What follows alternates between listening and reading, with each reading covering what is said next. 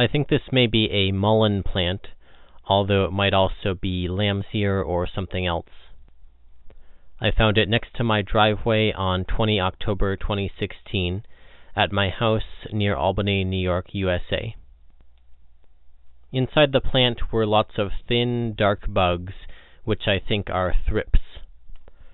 They look similar to the bugs in these pictures, which the comments on this website, bugguide.net, classify as thrips. There's actually a species of thrips called mullein thrips, so maybe that's what these are, but I don't know. This page says, quote, This species is called the mullein thrips because it is particularly plentiful throughout the year in the heart of mullein plants. Black in color except for light areas along abdominal segment lines, it measures less than 3 millimeters in length. This study says, quote, densities and types of arthropods overwintering on common mullein, Verbascum thapsus L, in a fruit-growing region of central Washington were determined. Over 45,000 arthropods were collected from 55 plants, five plants from each of 11 sites, dominated numerically by Acari and Thysanoptera. Insects representing eight orders and 29 families were identified, distributed both in the basal leaf rosettes and in the stalk material of the plants. One specialist insect herbivore of mullein, the mullein thrips, was abundant at all sites. Several pest and predatory taxa that commonly occur in orchards were also collected, suggesting that mullein may be a source of overwintered pests or predators moving into orchards in early spring. Here's the top part of Table 1 from the study. You can see that thrips, order Thysanoptera, comprise two-thirds of all arthropods in the rosettes, with an average of 1266.9 in five plants, or about 250 thrips per plant. Keep in mind that this study looked at arthropod numbers in December and January, whereas my footage is from October. Here you can see my housemate's garden in front of a hayfield. This footage is from 18 October 2016.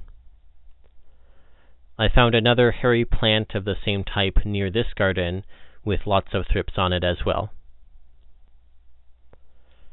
The Wikipedia article on common mullein says, quote, Common mullein is a species of mullein native to Europe, northern Africa, and Asia, and introduced in the Americas and Australia.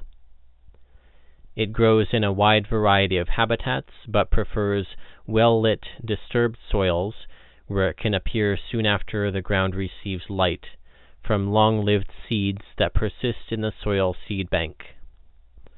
It is a common weedy plant that spreads by prolifically producing seeds, but it rarely becomes aggressively invasive, since its seeds require open ground to germinate. The hairy plants that might be mullein that were near my driveway were growing in soil that had been dug up last year in order to exhume an internet cable in the ground.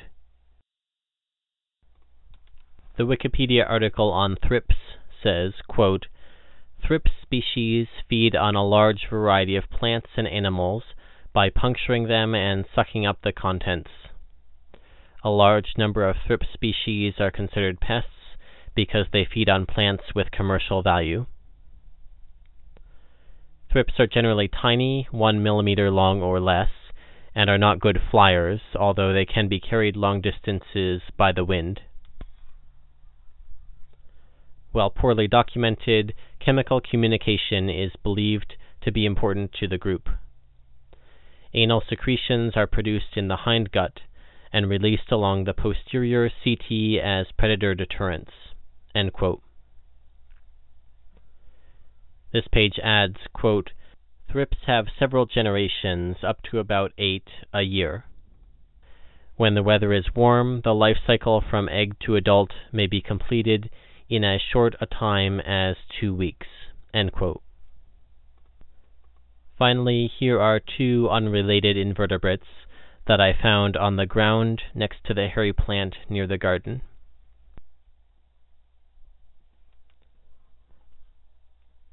Now here's a snippet of a video from YouTube. This video shows a lacewing eating thrips larvae.